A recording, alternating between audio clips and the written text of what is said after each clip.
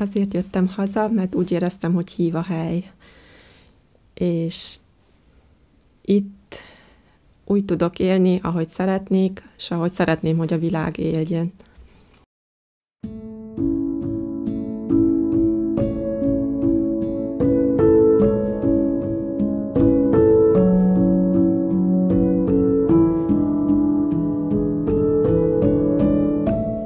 A magok számomra egy csendes aktivizmus, csendes aktivizmust jelképeznek, mivel világszinten nagyon komoly problémák vannak a magokkal kapcsolatosan, és nagyon híres emberek küzdenek azért, hogy a parasztoknak továbbá is joguk legyen a saját magjaikat használni, azokat, azokból növényeket termeszteni, mert hogy a nagyok el akarják venni ezt a jogot tőlünk, és ezért nagyon fontos megmenteni a még megmaradt régi fajtákat, amiket még megtalálok itt Kalotaszegen, de szerintem, hogyha még egy pár évet vártam volna, akkor már nem lett volna semmi.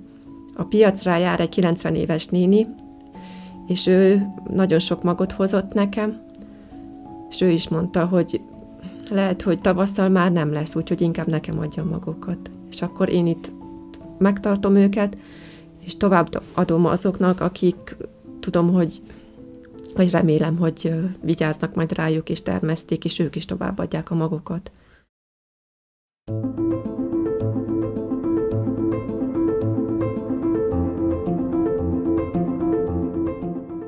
Azt szeretném, hogy ide fáradt lelkek jöhessenek, és itt megpihenhessenek,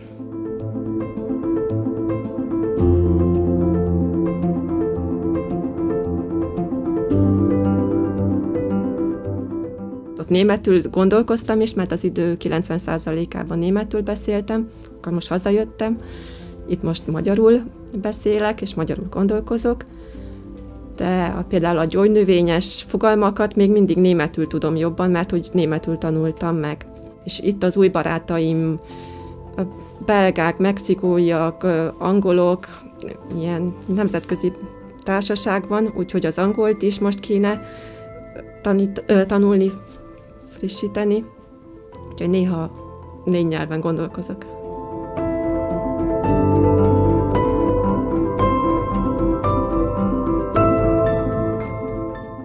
Egy éve érkeztem haza, és emlékszek, hogy a télen hogyan álltam az ablakban, és néztem az üres utcákat, és reméltem, hogy jönnek az emberek, hogy majd érdeklődnek a színes murkaim felől, hogy majd el akarják vinni a magjaimat, hogy majd hoznak nekem magukat. És nekem mindig az volt a vágyam, hogy a világ jön Kispetribe. És ez most megvalósult már. Voltak vendégek Be- Belgiumból, Angliából, Szlovákiából, Magyarországról. Ide is költöznek, Magyarországról, Ausztriából, Kolozsváról, hasonló gondolkodású emberek. És küldtem magukat már Mexikóba is, Ausztriába, Angliába visznek, Szlovákiába, és nagyon örülök ennek. Szent Györgyi Albertnek egy elődje itt Kispetriben született, és az ő tiszteletére alakítottam ki egy Szent Györgyi Albert, Szent Györgyi Imre ágyást, ahol magas C-vitamin tartalmú növények találhatóak, főleg vadnövények. Vettem egy kamerát, aztán a kamera után jött egy fotókurzus, ott azt mondta a tanár, hogy nagyon tehetséges vagyok, akkor egy kis bátorságot kaptam, és tovább fotóztam, és a fotókat egy ilyen Photoshopban hív, hívattam elő, és az ottani tulajdonos beleszeretett a fényképeimbe, és felajánlotta, hogy ott egy kiállítást szervez nekem. Ez meg is történt, Onnan pedig már jött a következő lépés, egy fotósuli, a prágai fotósuli Linz közelében. Ott is nagyon tehetségesnek tartottak, és akkor jöttek a kiállítások egymás után.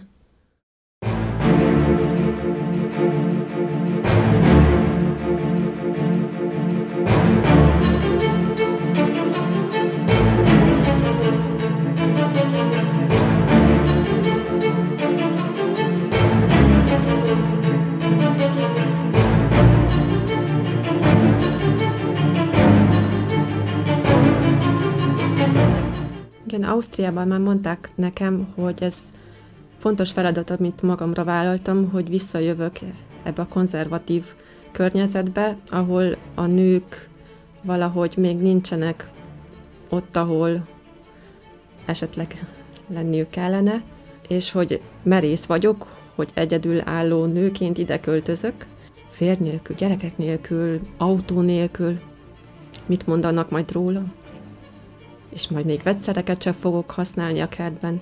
Én úgy is látom a feladatomat többek között, hogy én híd vagyok, nyugat és kelet között, modern és tradicionális között, román, magyar, osztrák között.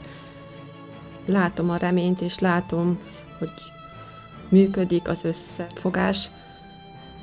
Nekem sose volt problémám sem más nemzetiségű, sem más hitű, sem más gondolkodású emberrel. Mindig meg tudtunk egyezni. Az angyalok köztünk járnak. Egyeseket látunk, egyes angyalok láthatatlanok,